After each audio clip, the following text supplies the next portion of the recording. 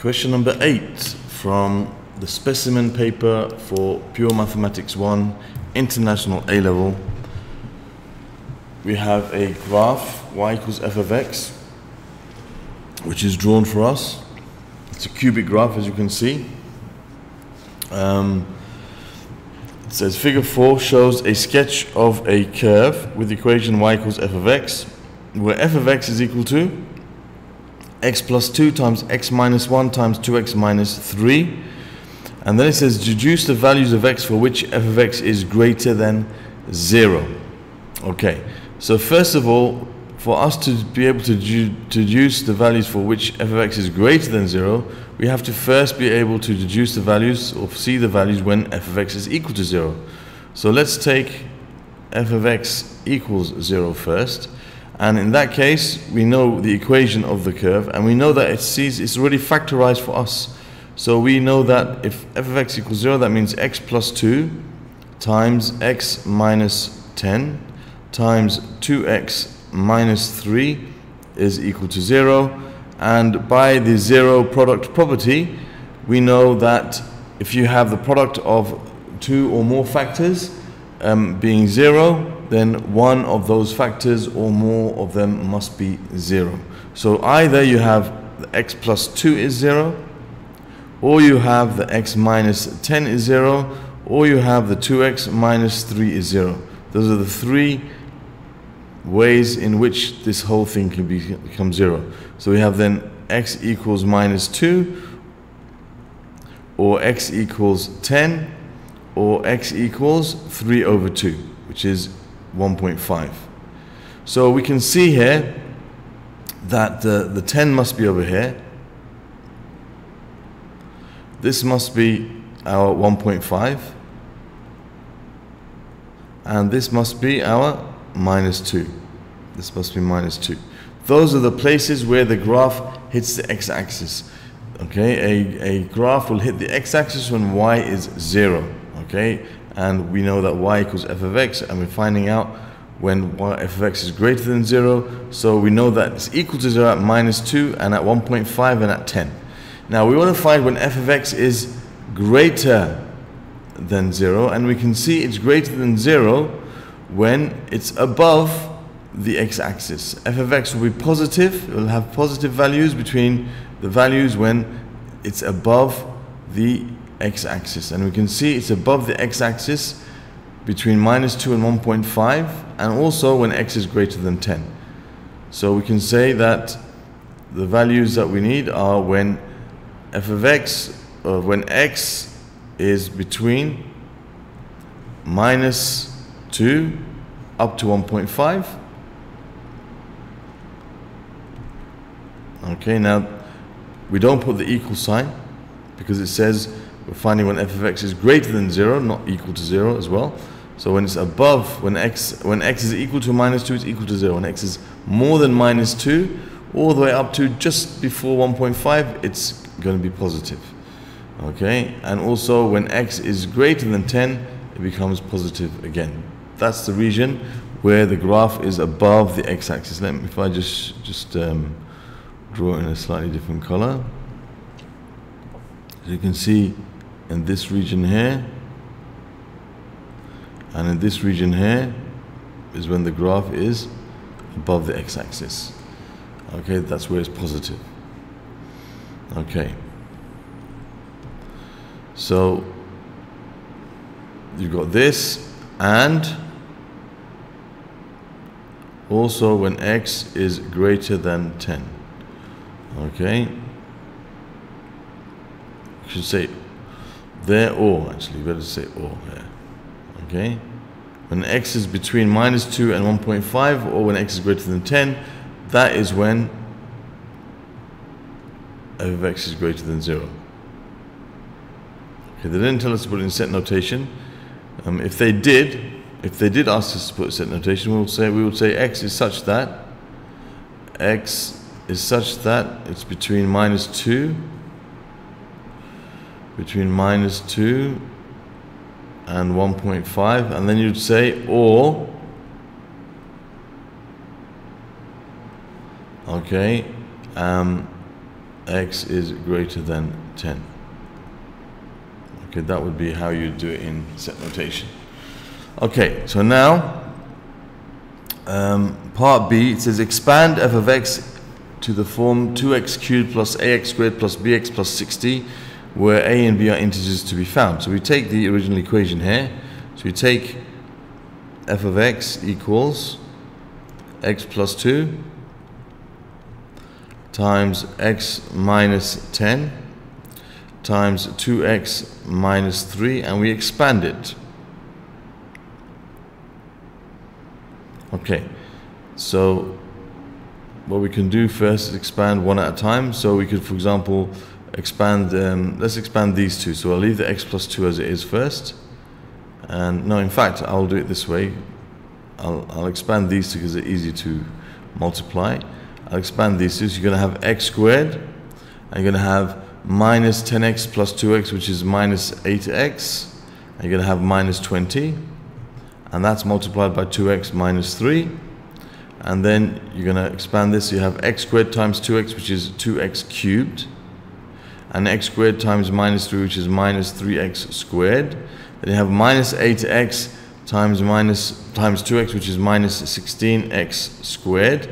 And then you have the minus 20, then minus 8x times minus 3, which is plus 24x.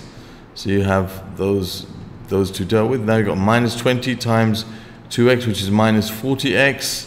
And you have minus 20 times minus 3, which is plus 60. Okay, so that will give us 2x cubed. We've got minus 3x squared, minus 16x squared, which is minus 19x squared. And you've got 24 minus 40, which is going to give you how much? 16. 24 plus 16. Yeah, it's going to give you minus 16x and plus 60.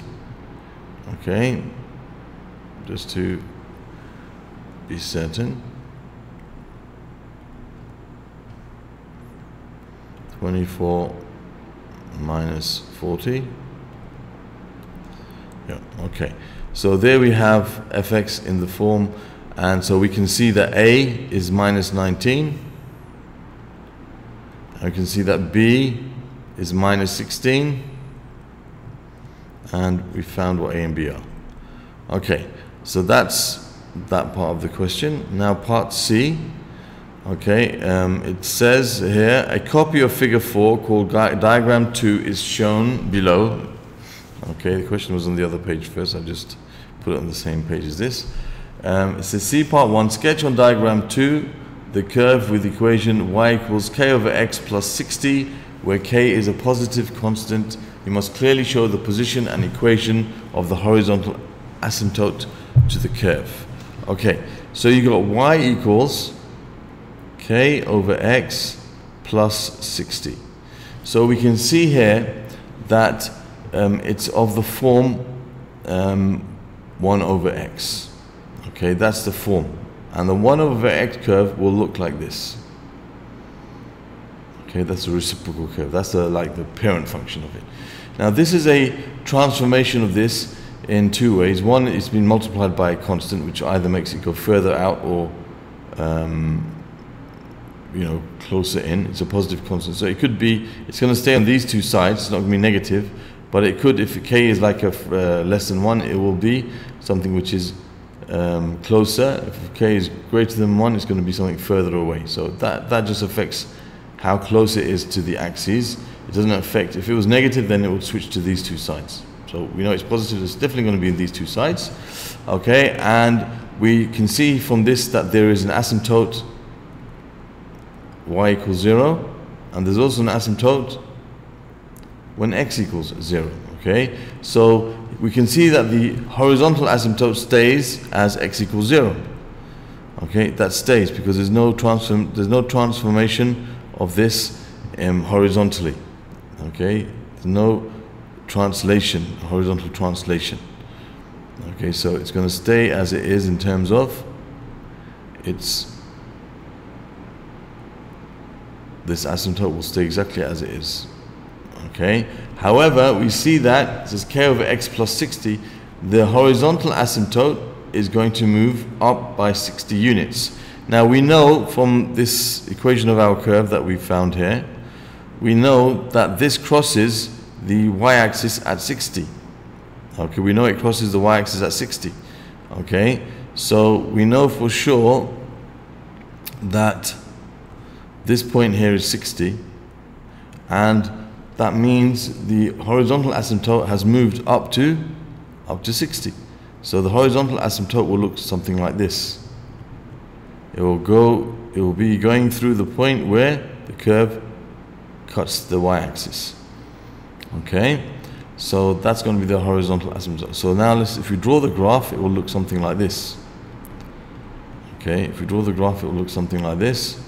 It's going to come down like this, continue this way, and it's going to come down like this.